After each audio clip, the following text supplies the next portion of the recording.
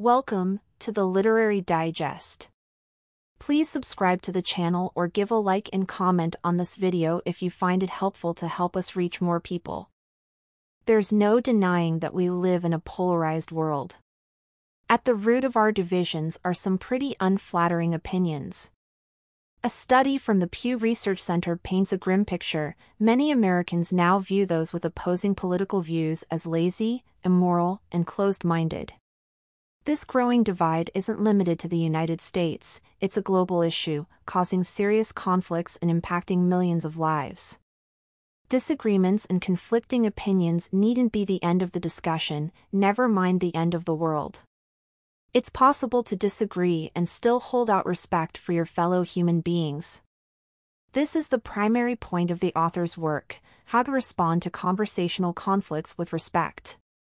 Not only that, but in the sections ahead we'll look at how we can all learn to benefit from disagreements rather than just fear them or walk away from them. Chapter 1 The Five Pillars of Respectful Disagreements. You've no doubt heard the phrase, let's agree to disagree. You may even think of it in a positive way. But this sentiment is often used as a last resort, a way of giving up and cutting off the conversation before things get out of hand. To put it simply, agreeing to disagree isn't an effective way of resolving conflicts, seeking to understand one another, getting someone to see your side of things, or even showing respect. That last part is what it's really all about. The solution is respectful disagreement. It's not about becoming a pushover and accepting someone else's opinion, and it's not about keeping your mouth shut and avoiding conflict. Rather, it's about handling conflict in a way that doesn't damage relationships. It's about starting from a place of respect, open mindedness, and a willingness to listen. The first question is how do we see others and ourselves? More to the point, can we look past differences and treat everyone with equal respect and dignity? Can we see ourselves as students of life who still have things to learn? By answering yes to these questions, we can expose ourselves to new perspectives, strengthen our relationships, and create more harmonious environments. Let's explore a way to bridge divides using the five pillars model. First, challenge your perspective, question your views, and be open to other angles. Second, be the student, always be ready to learn from others. Third, cultivate your curiosity, ask questions, and seek to understand. Fourth, seek the gray, find the middle ground where nuance exists. Finally, agree to respect, go beyond tolerance, and actively respect differing views. As you're probably starting to see, it all boils down to respect. Often we think of respect as something that has to be earned. Instead, we should think of it as a gift we choose to give to others. This is the concept of golden respect. It's like the golden rule treat others as you wish to be treated. Well, wouldn't you like someone giving you respect without jumping through hoops to earn it first? Golden respect acknowledges our shared humanity and it sees everyone as worthy of this basic consideration. Respectful disagreement isn't about winning or converting others. It's about honoring their dignity and worth. By modeling this behavior, we encourage more open and empathetic dialogues. This approach has the power to break down barriers and foster understanding, much like a sincere apology can mend a rift in a heated argument. Respectful disagreement can transform our interactions, making our relationships stronger and our communities more united. By embracing these principles, we can navigate conflicts with grace and build a more respectful and connected world. Chapter 2 Building Bridges and Knocking Down Barriers. Before diving into the five pillars in more detail, it's important to recognize what causes disagreements in the first place.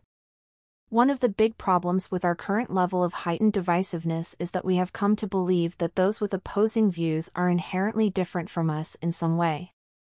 This is essentially a dehumanizing point of view about others. And once we start to dehumanize others, that's when things can go from bad to worse. Respectful disagreement starts from a more honest place. It recognizes that we are all human beings with a past that has shaped us into who we are today, including the opinions and beliefs we hold on to. More than that, our past experiences influence the way we handle disagreements and whether we shy away from conflict or throw ourselves full force into an argument every chance we get. For instance, the author shares a personal story about growing up with an abusive older stepbrother. The abuse was so severe that he lived in constant fear, even getting a bloody lip while he slept. This fear led him to develop a defensive fight mode in disagreements, always ready to protect himself. It wasn't until he forgave his brother that this began to change. The forgiveness wasn't for his brother's sake, it was a way for the author to free himself from the toxic emotions that were clouding his interactions. Forgiveness, as the author points out, is liberating and doesn't require the other person's participation. The author refers to these impactful past experiences as life disagreement markers, or LDMs. Whether it's something from childhood or a recent event, these markers shape how we approach disagreements today. By identifying our LDMs, we can start to change unhealthy patterns and engage in more respectful disagreements. Along with having a hair-trigger defensive fight mode, another common trait that gets in the way of respectful disagreement is naive realism. Maybe this sounds familiar as well. It's when someone has the idea that they see the world as it really is, and if someone else sees it differently, it's because they're flawed. The naive realism mindset can lead to misunderstandings and conflicts, as we often overestimate how correct or accurate our perspective is but it's a common perspective nonetheless, and recognizing when you have it can make a big difference in reducing conflict and becoming more open to other viewpoints. Along those lines, it's important to recognize your own tendency towards either building bridges or building barriers. From this point on, we're going to focus on taking down barriers and building bridges through a willingness to truly listen to others and valuing the threads of humanity that connect us all. The tips ahead will be useful tools in guiding us toward respectful disagreements and fostering healthy relationships, whether in professional or personal settings. But remember, the key principles remain always be an active listener, stay self aware, reflect on your actions, and practice empathy. Chapter 3 Challenging Your Perspective with Curiosity. Without further ado, let's dive into the aforementioned five pillars model. These are the five foundational ways to bridge divides and break down the barriers that keep us divided. We start with the first pillar challenge your perspective. This ties into what we discussed earlier, recognizing that everyone we meet is a unique individual with their own dreams, concerns, and experiences. This mindset is crucial. Seeing others as complex humans deserving of respect is essential for meaningful interactions. Moreover, understanding that others have experiences and perspectives we can learn from is vital for all the pillars that follow. A key part of this first pillar is cognitive reframing. Cognitive reframing is the habit of rethinking and adjusting thoughts or assumptions that might otherwise become fixed. For example, if you've been telling yourself that you're not smart enough to be taken seriously, cognitive reframing helps you interrupt that thought and reconsider it. This process allows us to rethink opinions that might be based on quick judgments and biases. Instead of labeling someone as aloof, we might consider they're simply introverted or having a rough day. This shift in perspective fosters a more empathetic and open-minded approach, improving our relationships. Challenging your perspective also involves reconsidering the limits of what you're exposed to. It's easy to stay in a comfortable bubble, surrounding yourself with people and ideas you're already inclined to agree with. But this can narrow your worldview. Consider how selective exposure may be limiting your understanding. While it's natural to seek comfort, engaging in challenging conversations with people from different backgrounds can be enlightening and beneficial. If finding receptive people from diverse backgrounds isn't easy, it's still possible to broaden your perspective. Books, podcasts, and online resources offer a wealth of viewpoints that can expand your understanding. The second and third pillars, be the student and cultivate curiosity, support the first pillar.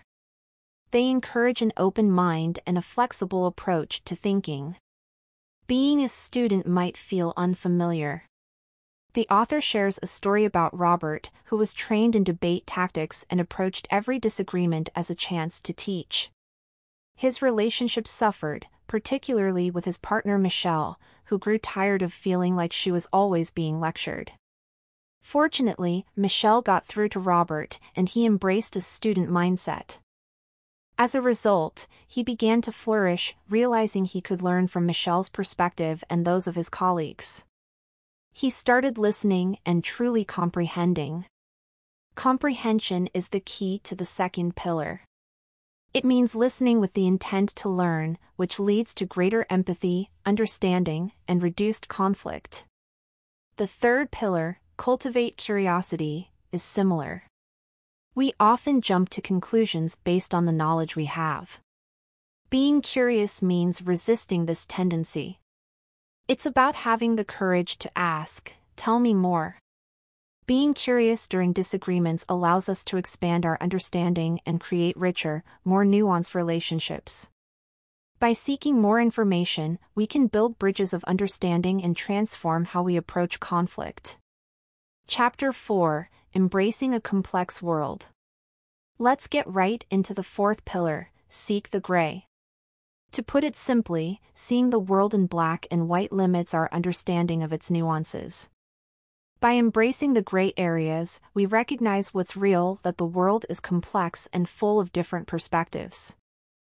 The key to this pillar is shifting your mindset away from competition and binary thinking and more towards collaboration. Disagreements are bound to happen in life, but rather than seeing this conflict in terms of winning or losing, you can see it as a chance for collaboration, one that fosters empathy, understanding, and a chance for collective learning. Competition drives excellence but hinders constructive dialogue. When disagreements arise, treating them as challenges to be solved together is the more productive route. Respecting different viewpoints promotes mutual respect as well as the idea that we can learn from each other to find inclusive solutions. True dialogue is when we're working towards creating something new, rather than just defending our viewpoints. For this to happen, we need to avoid simplistic binary thinking and start seeking the gray so that we can appreciate the intricacies of any situation. Finally, let's look at the fifth pillar agree to respect. Here, it all comes together and we see what a respectful disagreement looks like from the ground up. Where to start? When you consider this question, you can think of a drum circle. When people join a drum circle, they come to be a cooperative part of an enriching experience. They come to enhance that experience, but they don't enter into it thinking about how they're going to dominate or impress anyone. So you want to start with a cooperative, respectful attitude. Choose your words carefully and work towards harmony, trying to ensure that each interaction contributes positively to the overall conversation. The way we phrase our questions can significantly impact the tone of the conversation. So, be mindful and choose words that invite understanding rather than confrontation. For example, you might be a person who can't stand tattoos. But instead of asking why someone, why on earth would you get a tattoo, you could instead ask, what inspired you to get that tattoo? Both of these questions are aiming for the same information, but one is potentially insulting, while the other is respectful. Acknowledgement is one of the last pieces of the respectful disagreement puzzle. This means acknowledging when things are going well and, perhaps more importantly, when they aren't. This is a way of showing respect to the other side of the divide and helping to build that bridge across. The aim is to treat everyone, always, with kindness, empathy, and respect, and to do this by valuing their unique backgrounds and perspectives. With this approach, we don't aim for winning but we greatly increase our chances for understanding and bringing all sides closer together. Final Summary the main takeaway of this summary to I respectfully disagree by Justin Jones Fosu is that to help combat the divisive nature of today's conversations, we're introduced to five transformative pillars that are designed to build bridges and enhance how we handle disagreements. The first pillar, challenge your perspective, encourages us to recognize and respect the complexity of others' experiences and viewpoints. The second pillar, be the student, advocates for adopting a learner's mindset to enrich conversations and deepen understanding. Pillar 3, cultivate your curiosity, emphasizes the importance of seeking to understand others rather than making assumptions. The fourth pillar, seek the gray, urges us to move beyond black and white thinking and embrace nuance and collaboration. Finally, Pillar 5, Agree to Respect, underscores the necessity of acknowledging and valuing diverse perspectives to foster more meaningful and respectful interactions. Together, these pillars provide a comprehensive framework for transforming disagreements into opportunities for growth and connection.